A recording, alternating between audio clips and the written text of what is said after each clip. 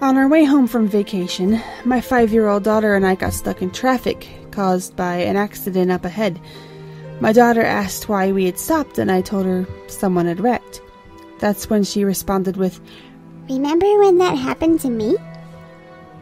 I was confused. She'd never been in a car accident. I laughed, thinking she was playing pretend or something, and asked her what she was talking about. Don't you remember?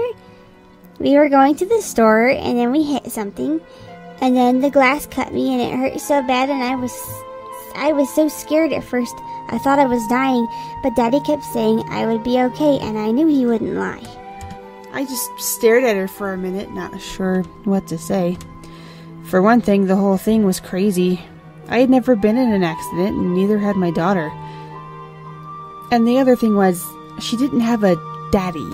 I mean, of course, she had a father, but he wasn't part of the picture, never had been. So, where was she getting this from? Traffic cleared and we continued on our way home, and it slipped from my mind.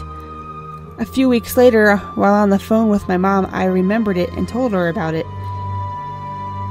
After a pause, my mom told me that when she was just about three years old, there had been a car accident, and that her older sister, who was five at the time, had been killed when a piece of glass from the windshield had somehow slit her throat.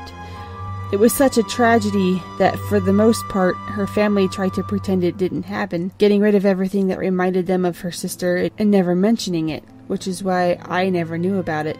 My mom said she could barely remember the accident herself since she was so young, but she said she'd never forget her dad crying as he held her sister in his arms and repeated over and over again, You'll be okay. You'll be okay.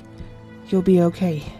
I felt chills run down my spine as I wondered how my daughter could have possibly known that.